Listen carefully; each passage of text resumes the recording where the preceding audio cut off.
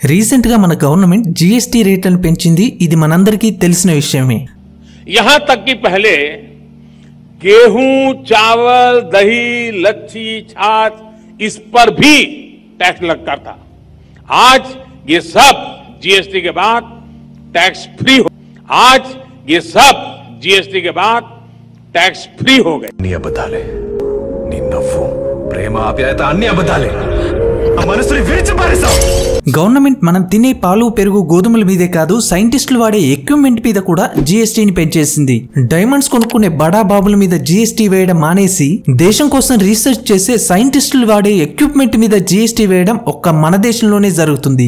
Government పెంచిన ఈ GST వల్ల సైంటిస్టులు వాడే మైక్రోస్కోప్స్ గ్యాసెస్ ల్యాబ్లో వాడే పరికరాల రేట్లు పెరగనున్నాయి. ఇలా సైంటిస్టులు వాడే ఎక్విప్మెంట్ మీద జీఎస్టీని పెంచడాన్ని మన దేశంలో ఉన్నటువంటి చాలా మంది సైంటిస్టులు వ్యతిరేకిస్తున్నారు. ఇంట్రెస్టింగ్ విషయం ఏంటంటే ఈ వ్యతిరేకించే వాళ్ళలో మన గవర్నమెంట్కి చెందిన సైంటిస్టులు కూడా ఉన్నారు. ఫర్ ఎగ్జాంపుల్ ఈయన సిఎస్ఐఆర్ ఇన్స్టిట్యూట్ ఆఫ్ మైక్రోబియాల్ టెక్నాలజీకి చెందిన సైంటిస్ట్ అమిత్ తులి. గవర్నమెంట్ ఇలా సైన్స్ పరికరాల మీద జీఎస్టీ పెంచడం కరెక్ట్ కాదు. దీనివల్ల మన దేశం మీద నెగిటివ్ ఎఫెక్ట్ పడుతుందని ఈయన చెప్తున్నాడు. హైదరాబాద్కి చెందిన ఇంకో సైంటిస్ట్ చేసిన ట్వీట్ ఇది. సైన్స్ పరికరాల మీద జీఎస్టీని పెంచడం మన కాల్ని మనమే నక్కుకోవడం లాంటిదని ఏం చెప్తున్నాడు. వీళ్ళిద్దరే కాదు చాలా మంది సైన్స్ పరికరాల మీద జీఎస్టీని పెంచడాన్ని వ్యతిరేకిస్తున్నారు. అసలు వీళ్ళంతా ఎందుకు వ్యతిరేకిస్తున్నారు? దీనివల్ల మన దేశానికి వచ్చే లాస్ ఏంటి? మన దేశం సైంటిస్టులను తయారు చేయడంలో ఏ ప్లేస్లో ఉంది అనే విషయాలను ఈ వీడియోలో చూద్దాం. ఈ వీడియోలో మీకు చాలా కొత్త విషయాలు తెలుస్తాయి. వీడియోని లాస్ట్ వరకు చూడండి.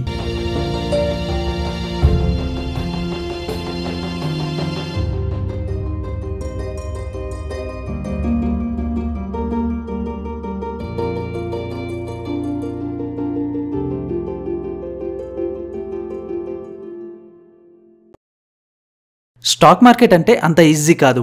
ఎలాంటి నాలెడ్జ్ లేకుండా స్టాక్ మార్కెట్లో ఇన్వెస్ట్ చేయడం రిస్క్తో కూడుకున్న పని. మీరు కష్టపడి సంపాదించిన డబ్బుని షేర్ మార్కెట్లో ఇన్వెస్ట్ చేయాలి అనుకుంటే గనక మీకు ఖచ్చితంగా ఒక ఫైనాన్షియల్ ఎక్స్పర్ట్ అవసరం ఉంటుంది. ఈయన మీకు ఏ షేర్ని ఎప్పుడు కొనాలో ఎప్పుడు అమ్మాలో సరైన గైడెన్స్ని ప్రొవైడ్ చేస్తాడు. మోతీలాల్ ఓస్వాల్లో గనక మీరు ఫ్రీ డిమాట్ అకౌంట్ని ఓపెన్ చేసుకుంటే వాళ్ళు మీకు ఫ్రీ ఫైనాన్షియల్ అడ్వైజర్ని ప్రొవైడ్ చేస్తున్నారు. ఈయన మీ ఇన్వెస్ట్మెంట్ ట్రేడింగ్కి సంబంధించిన క్వశ్చన్స్కి ఆన్సర్ చేస్తాడు. మీరు ట్రేడింగ్ ఇన్వెస్ట్మెంట్ చేయాలి అనుకుంటే ఫస్ట్ మీకు ఒక డీమ్యాట్ అకౌంట్ ఉండాలి. గత ముప్పై సంవత్సరాల నుంచి ఇరవై తొమ్మిది లక్షలకు పైగా కస్టమర్లు కలిగినటువంటి మోతీలాల్ ఓస్వాల్ వారు మీకు ఫ్రీగా డీమ్యాట్ అకౌంట్ని ఓపెన్ చేసుకునే అవకాశాన్ని కల్పిస్తున్నారు. దీంట్లో ఎలాంటి అకౌంట్ మెయింటెనెన్స్ ఛార్జెస్ ఉండవు. అంతేకాదు ఇది fully safe and secure. Account opening కోసం Aadhaar card PAN card bank proof ఉంటే సరిపోతుంది. అకౌంట్ ఓపెన్ చేసుకున్నాక వెల్కమ్ బాస్కెట్ కింద మీకు ఫ్రీగా ఏ బేస్డ్ టూల్స్ని ప్రొవైడ్ చేస్తారు. దీంట్లో మీరు జస్ట్ మొబైల్ కాల్ ద్వారా కూడా ఇన్వెస్ట్ చేయొచ్చు. ఇంట్రెస్ట్ ఉన్న వాళ్ళు డిస్క్రిప్షన్లో ఇచ్చిన లింక్ మీద క్లిక్ చేసి ఇప్పుడే అకౌంట్ని ఓపెన్ చేసుకోండి.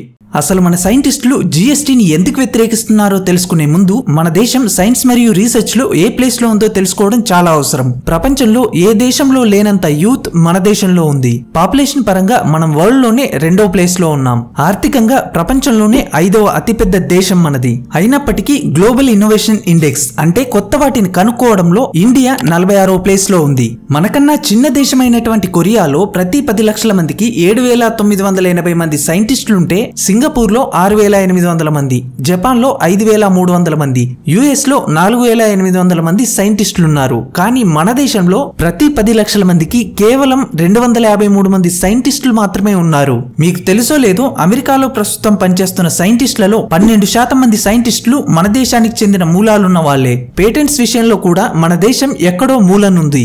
లాస్ట్ ఇయర్ ఒక్క యుఎస్ఏ నుంచి లక్ష డెబ్బై ఎనిమిది వేల పేటెంట్స్ రిజిస్టర్ అయితే జపాన్ నుంచి నలభై ఎనిమిది వేల పేటెంట్స్ చైనా నుంచి ఇరవై ఎనిమిది వేల పేటెంట్స్ సౌత్ కొరియా నుంచి ఇరవై రెండు వేల పేటెంట్స్ రిజిస్టర్ అయ్యాయి. ఇక మన ఇండియా నుంచి రిజిస్టర్ అయిన పేటెంట్స్ ఎన్నో తెలుసా? వెయ్యి యాభై ఎనిమిది. ఇక సైన్స్లోనే అత్యున్నత పురస్కారమైనటువంటి నోబెల్ ప్రైజ్ల గురించి మనం ఎంత తక్కువ మాట్లాడుకుంటే అంత మంచిది. అమెరికాకు చెందిన హార్వర్డ్ యూనివర్సిటీ ఒక్కటే ఇప్పటి వరకు నూట అరవై ఒక్క నోబెల్ ప్రైజ్ విన్నర్స్ని తయారు చేసింది. ఇదే అమెరికాకు చెందిన మరో యూనివర్సిటీ యూనివర్సిటీ ఆఫ్ కాలిఫోర్నియా ఇప్పటి వరకు నూట పది మంది నోబెల్ ప్రైజ్ విన్నర్స్ని తయారు చేసింది. ఇక మన దేశంలోని యూనివర్సిటీస్ గురించి అంటావా? ఇక్కడ యూనివర్సిటీస్ని పక్కన పెట్టు. మన దేశం మొత్తం కలిసి సైన్స్లో సివి రామన్ గారి నోబెల్ ప్రైజ్ తర్వాత ఇప్పటి వరకు ఒక్క నోబెల్ ప్రైజ్ని కూడా గెలుచుకోలేకపోయింది.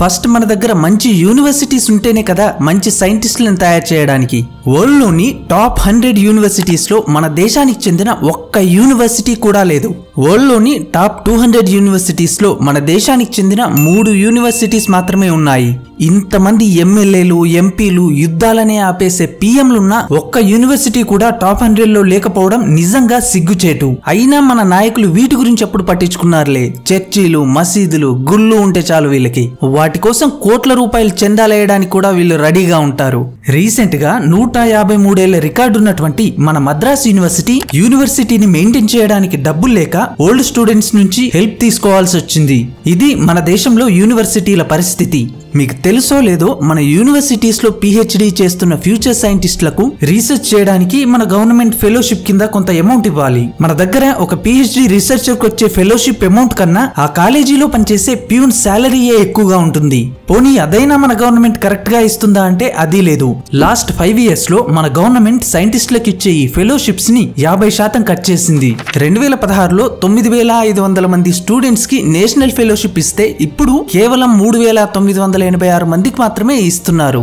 రెండు వేల పదహారులో నాలుగు వేల ఒక్క వంద మందికి మౌలానా అబ్దుల్ కలాం ఆజాద్ ఫెలోషిప్ ఇస్తే లాస్ట్ ఇయర్ కేవలం రెండు వేల మూడు వందల మందికి మాత్రమే ఇచ్చారు. షాకింగ్ విషయం ఏంటంటే గత కొన్ని సంవత్సరాలుగా మన ప్రభుత్వం ఫ్యూచర్ సైంటిస్టులు ఫెలోషిప్ కోసం రాసే ఎగ్జామ్స్ నే కండక్ట్ చేయట్లేదు. దీన్ని బట్టి అర్థం చేసుకోవచ్చు మన గవర్నమెంట్ సైంటిస్టులను ఏ రేంజ్లో ఎంకరేజ్ చేస్తుందో. పోనీ ఈ ఇచ్చే ఫెలోషిప్స్ అన్న కరెక్ట్ టైం కి ఇస్తారా అంటే అది లేదు. ఇది ఒక రీసెర్చర్ రజనీకాంత్ గారు టూ థౌజండ్ ట్వంటీ వన్లో చేసిన ట్వీట్ ఇది. రీసెర్చర్గా పిహెచ్డి చేస్తున్న ఈయనకి తొమ్మిది నెలల నుంచి గవర్నమెంట్ నుంచి రావాల్సిన స్టైఫండ్ రావట్లేదు. ఇంటికి పంపడానికి ఈయన దగ్గర ఒక్క రూపాయి కూడా లేదని ఈయన ట్వీట్ చేశాడు. ఇలా చాలా మంది ఫ్యూచర్ సైంటిస్టులు గవర్నమెంట్ నుంచి రావాల్సిన ఫండ్స్ రాక ఏం చేయాలో అర్థం కాక వాళ్ళ పిహెచ్డీలని మధ్యలోనే వదిలేస్తున్నారు. అందుకే మన దేశంలో పిహెచ్డీలో జాయిన్ అయిన వాళ్ళలో జస్ట్ ఇరవై నుంచి ముప్పై శాతం మంది మాత్రమే పిహెచ్డిని కంప్లీట్ చేస్తున్నారు. ఇది మన దేశంలో సైంటిస్టుల పరిస్థితి. ఆల్రెడీ మన దేశంలో సైన్స్ చావు బతుకుల మధ్య వెంటిలేటర్ మీద ఉంది దీన్ని బతికించాల్సిన బాధ్యత మన ప్రభుత్వం మీద ఉంది కానీ మన ప్రభుత్వం సైన్స్కి షాకుల మీద షాకులు ఇస్తుంది. రెండు వేల ఎనిమిదిలో మన గవర్నమెంట్ సైన్స్ అండ్ టెక్నాలజీ మీద జీరో పాయింట్ ఎనిమిది శాతాన్ని ఖర్చు చేసేది. పదమూడు సంవత్సరాల తర్వాత ఇప్పుడు కూడా అదే జీరో పాయింట్ ఎనిమిది శాతాన్ని మన గవర్నమెంట్ ఖర్చు చేస్తుంది. మీరు కనుక అబ్జర్వ్ చేస్తే ఈ సంవత్సరం మన గవర్నమెంట్ సైన్స్ మరియు రీసెర్చ్ కోసం అలుకొచ్చేసిన బడ్జెట్ పద్నాలుగు వేల రెండు వందల పదిహేడు కోట్లు. ఇది లాస్ట్ ఇయర్ కన్నా మూడు పాయింట్ తొమ్మిది శాతం తక్కువ.